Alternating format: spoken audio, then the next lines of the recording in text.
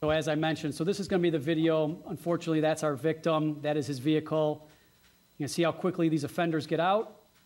See suspect number one with a gun there. You can see his shoes. There's suspect number two and three. Number four is the driver. There's an exchange of gunfire, and then these suspects will leave. This is just a different angle of the car.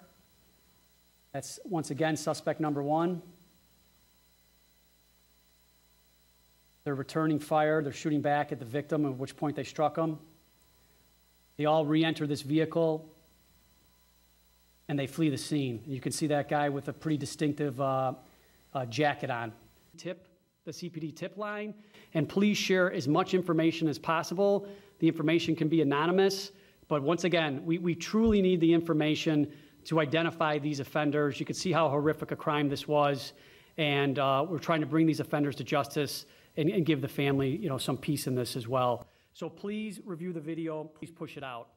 Um, we did recover the uh, the vehicle in this incident. So when you looked at the video, the vehicle that these offenders pulled up in was another stolen vehicle. It was a Ford Fusion. We have recovered that vehicle out in uh, Tinley Park. And I want to thank all of our. You need those funds to relocate, to move. We just want justice for this family. Here it is. He was trying to get some popcorn, and his life was taken over a vehicle. So we are asking that if there's anyone out here, you guys have seen the video, someone knows something. Someone went to school one of these individuals. This family deserves justice. We do believe.